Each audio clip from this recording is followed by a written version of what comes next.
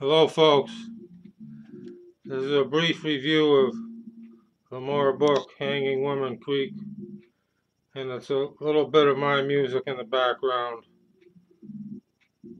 so no copyright needed.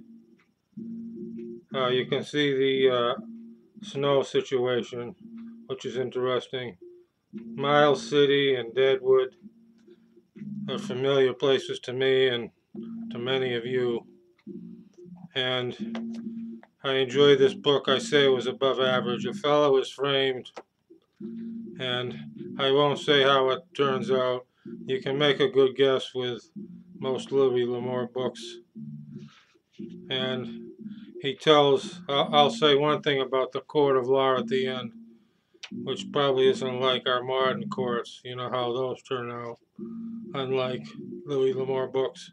But Red is told to he's not the protagonist. He's not a main character, but he's important.